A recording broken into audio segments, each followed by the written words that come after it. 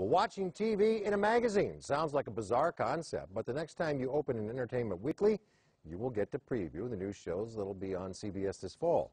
And as CBS 2's Dave Malkoff shows us in tonight's 615 Spotlight, it's all thanks to a local company. The next issue of Entertainment Weekly is about to change the industry by putting TV right into the magazine.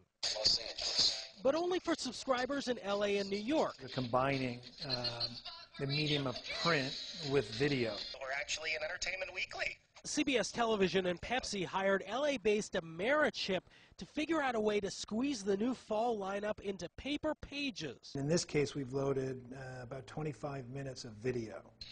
So, for example, there's the very beginning. This remarkable piece of technology you're looking at. It's like a, basically just like a remote. Goes right to the next video clip. You're funny. Thank you. And pretty. Okay. So this is the of the device right here. The lithium-ion cell phone type battery down there lasts for about an hour before you have to recharge it through the USB port over here.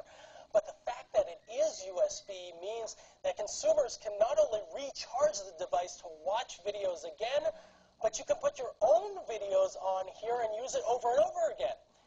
That's how I got in here.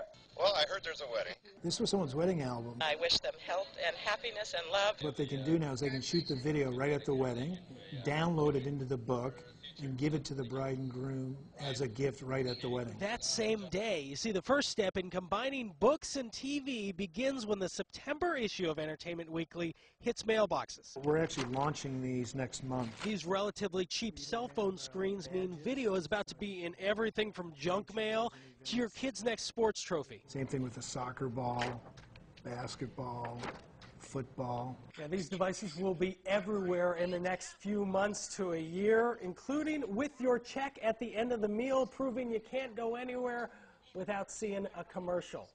In Gardena, I'm Dave Malkoff, CBS 2 News. Time now to check in with Johnny Mountain. Johnny, do you remember when your television set was just a giant chunk of furniture and it had a stereo in it and giant knobs? And I hope you do. Yeah, that, we call that a radio. and then finally they put a picture in it. It was Isn't it amazing, though? It was like an like an amoir, you know, one of exactly. huge thing. Piece of All right. furniture. We've got the uh, two-view Doppler in HD, which is, by the way, very small. It's not like a big thing at all.